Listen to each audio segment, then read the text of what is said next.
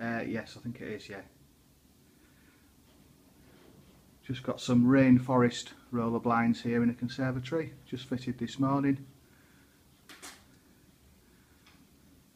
Call the phone number above if you wish to buy.